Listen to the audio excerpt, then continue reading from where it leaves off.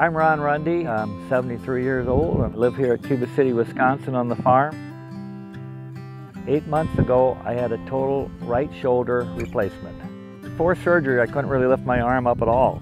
You know, I had to do everything with my uh, left hand. Even milking when you had to reach forward or up for putting the milking machines on, that would bother my shoulder. When I drove the skid steer, uh, pushing forward all the time, I'd push the handle forward and I'd hold it there with my knee. That way I could drive it without keeping constant pressure on my shoulder. Tried to play with the grandkids, I couldn't throw a ball at all.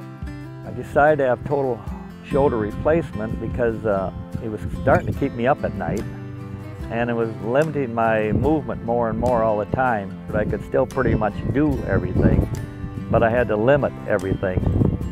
Well, I had heard very complimentary things about Dr. Lindsay and his work, and so I decided that I was going to have him do my surgery.